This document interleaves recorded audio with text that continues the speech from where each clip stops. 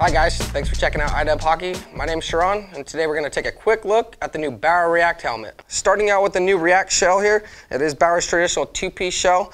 Um, they did give it a nice new sleek look though. It is modeled after the 4500, which is a pro-inspired look. Uh, instead of having the two adjustments on the sides now though, they only have one central adjustment here. It's very nice, very quick and easy. Uh, moving down to the occipital lock here, uh, they did Feature this on the 9900 as well, but pinching from each side. Now they have one, it just slides down. So if you see here, the occipital lock will move in, helping lock your head in better to the helmet. They also have nice airflow. That is what Bauer is known for. Uh, they did add one, two up here near the top of the head. So you get a nice flow through the helmet and out the back. Keep your head nice and cool. Moving on to the liner now, Bauer did this new thing.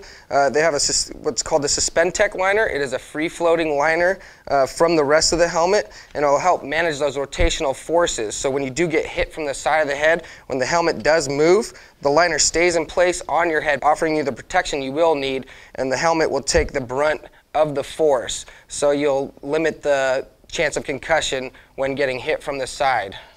Moving on to the Poron XRD foam here is a super light, very pliable and breathable material that will dissipate those high energy impacts.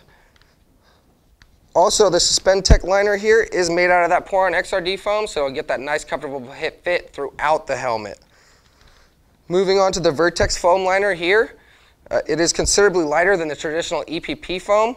Uh, it's just as dense, so you'll get that nice high level of protection and also handle those low and high impact hits. Moving on to the occipital lock here, Bauer did do a nice spongy foam material, so it'll keep it nice and comfortable on the back of your head as well. Also adding to that, they did a nice memory foam here, so it'll keep it nice and comfortable up there as well. The RE-AKT helmet does come in a cage combo as well.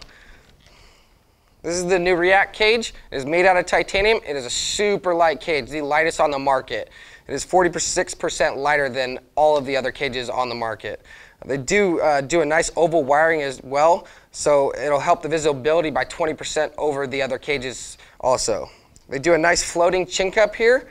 Uh, it is a triple density chin cup. They also did add the Poron XRD foam here, so you get that nice comfort with giving you the protection you will need.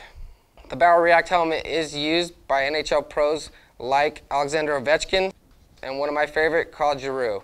Uh, they also do corner the market at 44%, so it gives you an idea on how good the Bauer helmets are. Thanks for checking out the new Bauer RE-AKT helmet, and you can pick this up at inline and icewarehouse.com.